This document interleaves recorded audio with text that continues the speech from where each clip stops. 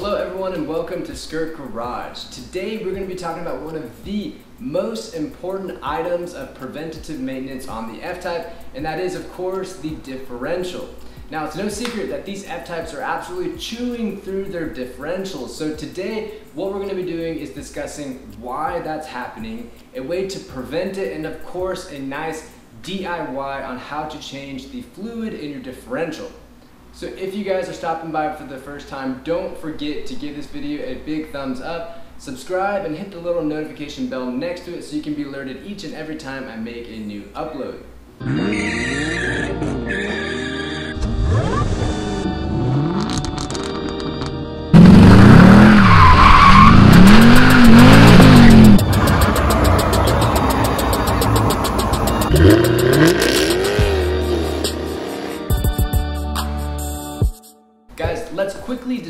The differentials available in the F-Type. There are three.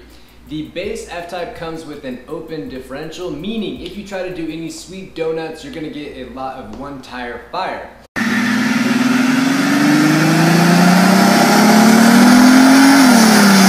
The S variation of the F-Type comes with a mechanical limited slip differential, and what that means is once the differential senses that there's a loss of traction, it will mechanically lock the differential and both wheels spin at the same rate. You'll be able to do some great looking donuts and skids.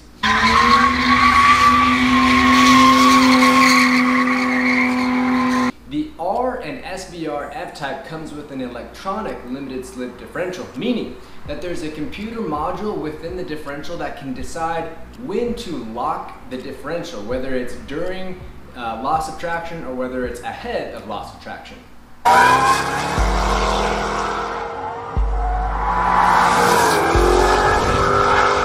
Differentials tend to go bad or fail, generally speaking, if one of two things happens. First, if you just lose the differential fluid within it. So let's say that there's a leak or there's a bad seal, uh, the fluid will come out and of course you'll have a lot of metal on metal within the differential and it will fail. The second and more common issue that we see with our F-types is that the differential itself overheats. So when the differential overheats, that fluid inside can kind of turn into like a sludgy, almost paste. And you'll be able to see it when you remove uh, your drain plug. That sludge uh, obviously doesn't do its job at lubricating, and so your differential is running with higher friction, it has less lubrication, it gets hotter. Uh, the computer module up above on the electronic uh, limited slip differentials can burn out, and ultimately it will fail. Now that's all generally speaking, but specifically I have a hunch as to why our F-types are having issues. I have two reasons, or at least thoughts why I think this might be happening. The first one is the style of supercharger that the F-type uses. The F-type uses a root style supercharger, which root style superchargers, they create a lot of torque immediately. The propellers are spinning all the way through and they create this massive plateau of torque all the way through the rev range. So immediately when you hit the throttle, those propellers are already spun up and you have immediate boost and torque. So it puts a lot of strain on those differentials trying to get all that power to the ground. The other reason why I think that these differentials can prematurely fail is because of the electronic aspect in the R and SVR variation.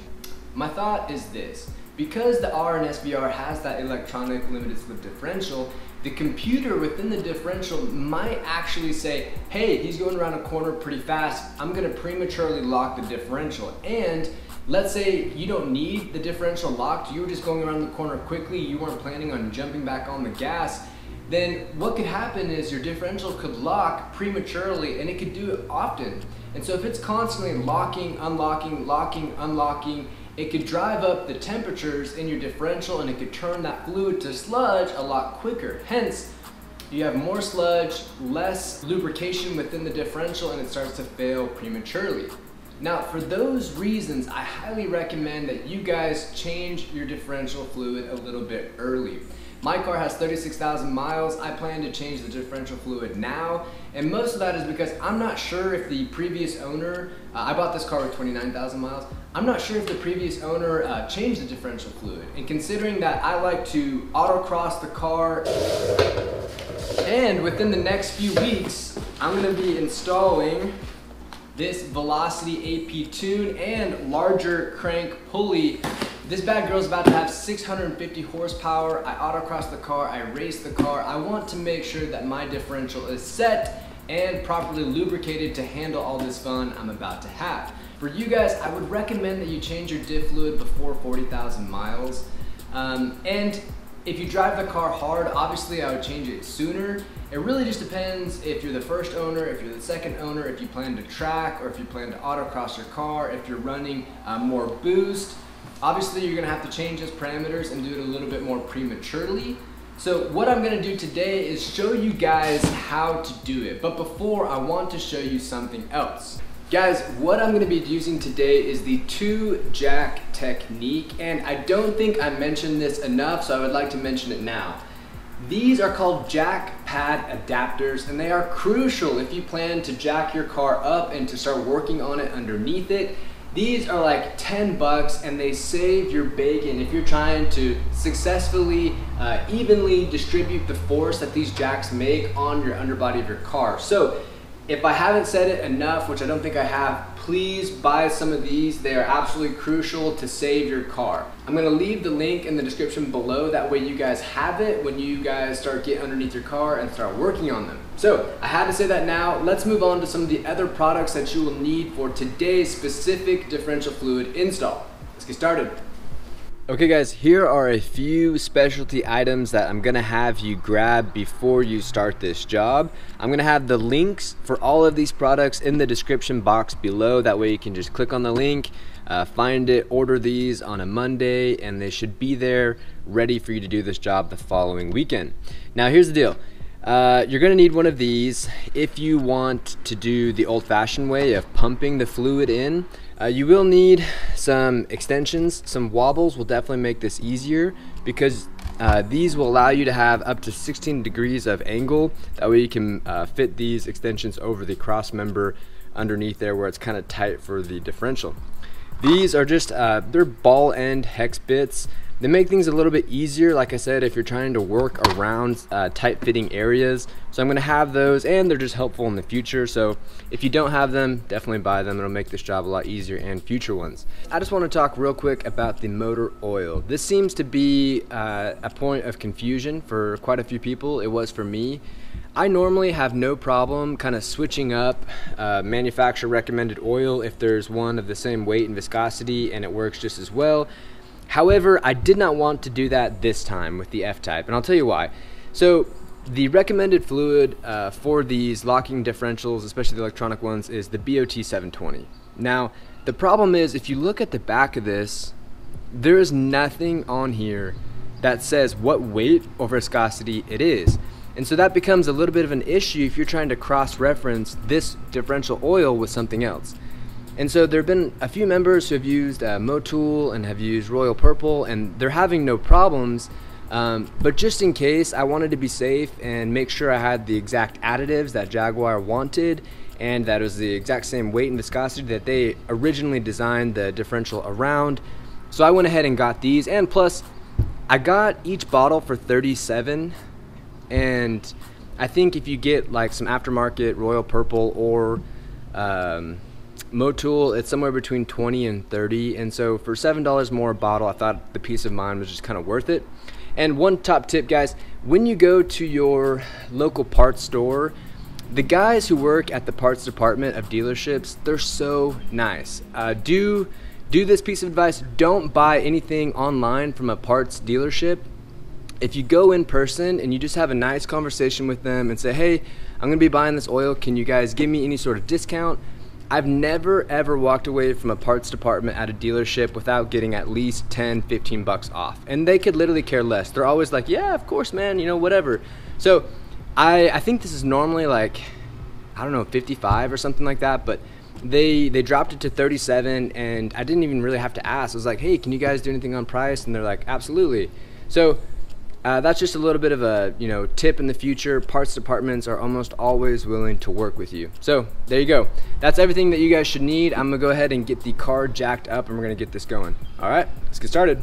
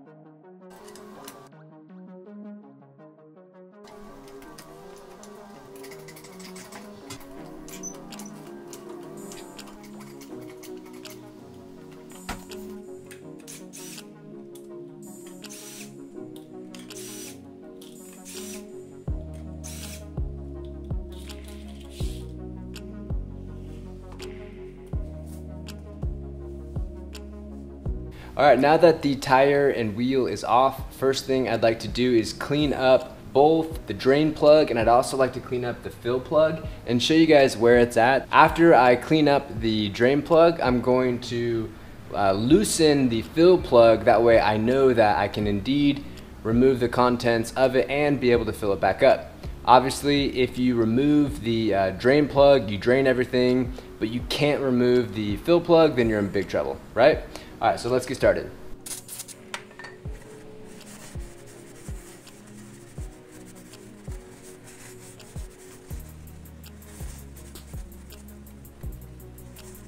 Guys, it's gonna be a lot easier for me to show you where everything is if I can give you kind of a zoomed out look and then a zoomed in look. So I've got my flashlight here at the very tip so I can show you a little easier.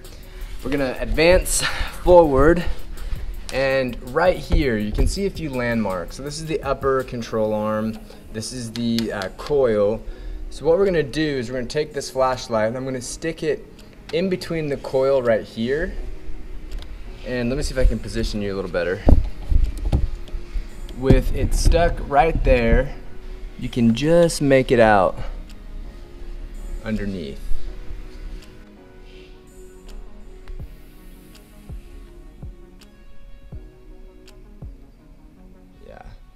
It is. See it? So we got to get all the way back there. So that's why we're going to use those wobbles and extensions. It's going to make our life pretty easy. All right, let's get it.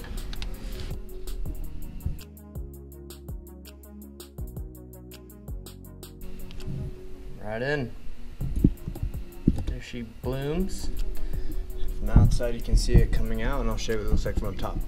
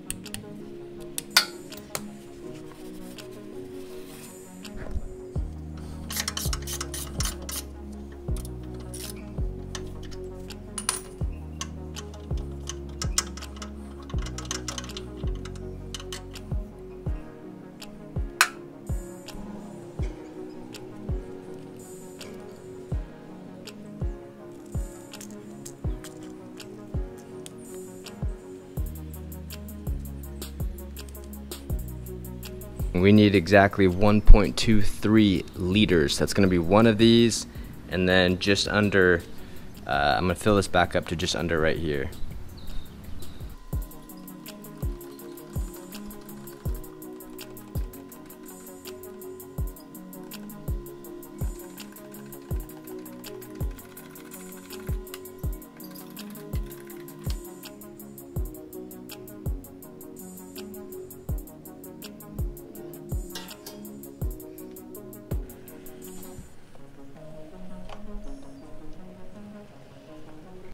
We're gonna put point two three liters back in here. Man, that's next to nothing.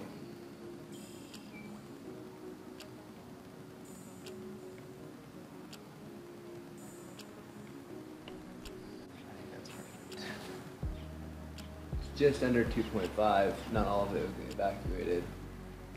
So I think that's gonna be perfect.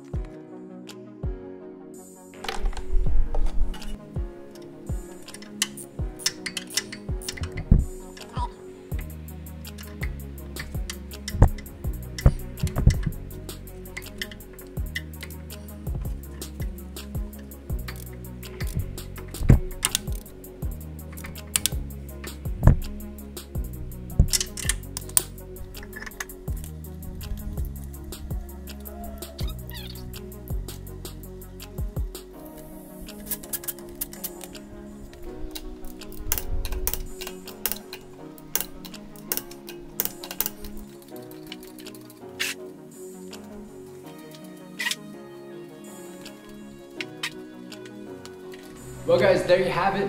I know that these videos are not my most successful ones on YouTube. I know that they're not the most sexy either because all I'm doing ultimately is just showing you guys how to change your differential fluid. However, I do think that these are the most valuable for you guys as F-type owners. So please do me a kindness if you haven't already. Hit subscribe, hit the notification bell, give this a big old thumbs up. Help me make sure that I should keep doing these uh, DIY videos because I personally find them super helpful when I'm in need and I hope that you guys are grateful as well for these. So if you've enjoyed it, please do those things. I love you guys, be safe and have a great day. See ya.